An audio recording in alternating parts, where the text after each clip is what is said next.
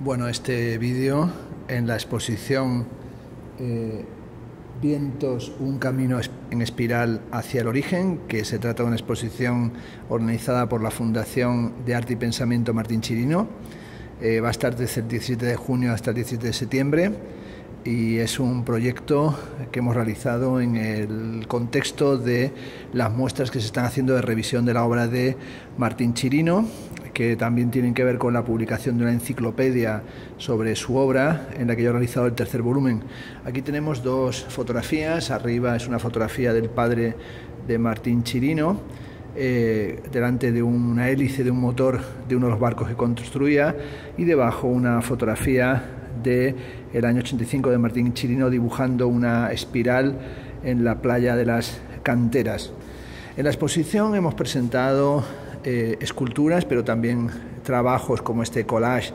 eh, con papel del año 1979 titulado El viento teneguía, o aquí tenemos esculturas como esta que es una obra del año 1987 titulada eh, El viento, obras sobre papel como esta pieza, aquí se refleja demasiado la luz, o esta escultura de ese viento, de esa espiral que se expande. Hemos puesto también obras de artistas contemporáneos de Martín Chirino,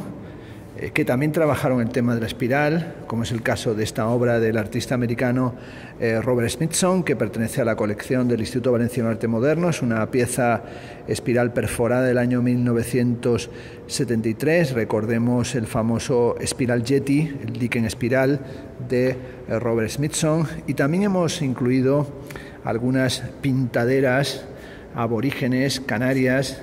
que se encuentran en el Museo eh, canario, eh, que son estas eh, formas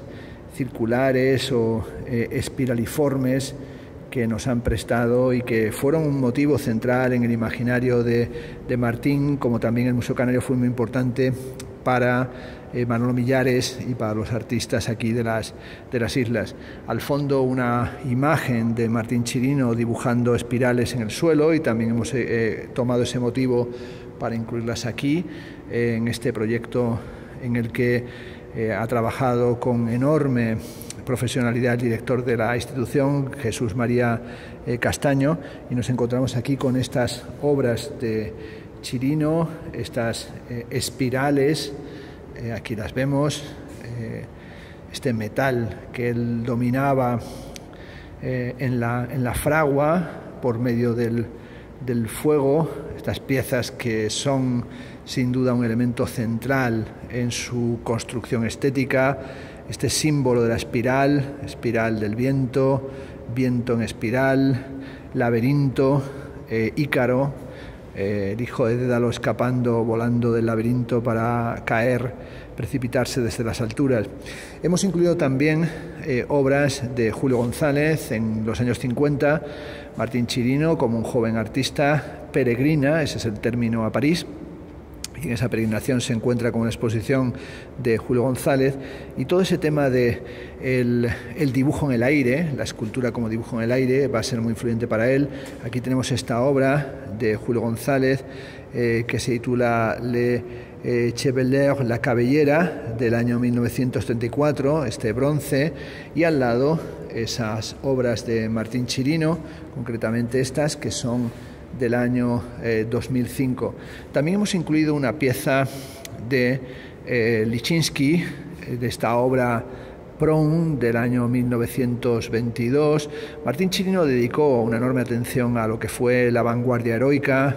al cubismo, al, futurismo italiano y realizó homenajes a Filippo Tommaso Marinetti, pero realizó una crónica del siglo XX en la que tomaba en cuenta lo que fueron las grandes contribuciones de la vanguardia, pero la importancia que tiene la abstracción. Recordemos los debates sobre la abstracción en la Escuela Altamira en los años 50, en la Fundación del Paso, ese grupo al que Martín Chirino se unirá y con el que realizará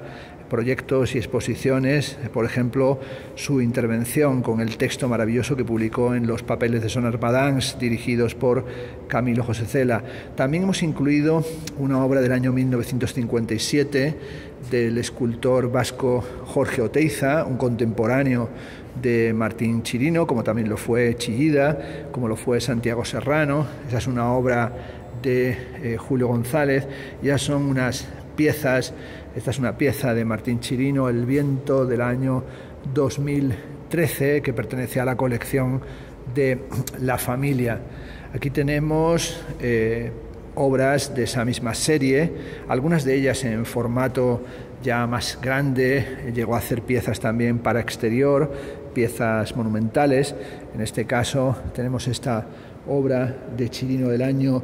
2007 o también, insisto una vez más, trabajos en los que aparece el dibujo, las piezas sobre papel o también esta que pertenece al gobierno canario que se llama La Ola porque evidentemente también se alude la espiral al viento, alude también a los remolinos de agua y a la experiencia al oleaje. Decía Martín Chirino que para él fue fundamental el encuentro con este motivo de la espiral del viento, el recuerdo de los remolinos de arena y las configuraciones del viento que él percibía cuando era un niño en la playa de aquí de la ciudad de Las Palmas, en la playa de las canteras. Y aquí cierro este vídeo que estoy haciendo para vosotros con esta pieza del año 2011-2012 que se titula El viento solano,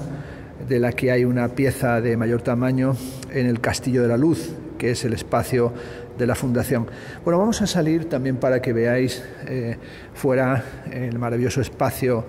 de la eh, fundación, eh, ese espacio en el que se encuentran las piezas de la colección permanente, en una visita de verdad que creo que es una visita obligada, o bueno, obligada, nada y obligatorio, pero una visita hermosa si estáis en Las Palmas y tenéis, como espero, alguno de vosotros, imagino que sí, si estáis viendo este vídeo, intereses artísticos. Este es el, castillo de la, de la, luz, aquí lo tenéis, eh, un eh, espacio verdaderamente hermosísimo con una restauración que hicieron y un acondicionamiento para presentar la colección de Martín Chirino realizado por Nieto y eh, Sobejano y ahí está el cartelón en la fachada, el viento, un camino en espiral hacia el origen. Esta es una obra de eh, Chirino que se encuentra aquí instalada hace tiempo en el exterior. Bueno, Chirino eh, va a evolucionar desde sus herramientas poéticas e inútiles a eh, Afrocam y a las eh, series de los vientos, los aeróboros y como digo, este proyecto que estoy realizando, esta exposición que estamos inaugurando hoy, 17 de junio y que estará hasta el 17 de septiembre, es una exposición que se inscribe en ese proyecto de realizar